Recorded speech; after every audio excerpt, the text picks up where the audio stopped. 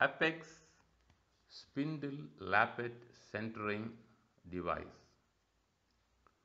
To achieve a perfect centering of the lappet with that of the spindle, the first step is to center the ring with that of the spindle. The apex spindle ring concentricity setting device is ideal for this and it is inserted onto the spindle and the centering of the ring is automatically achieved as shown.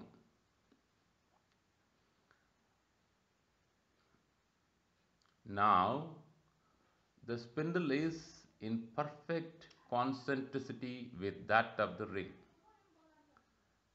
The second step is lappet to spindle centering.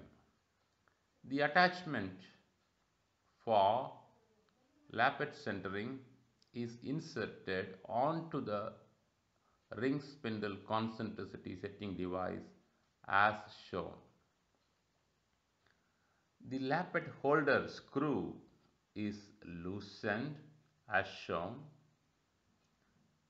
and the lappet is positioned so as to correspond to be in center with the pin of the device.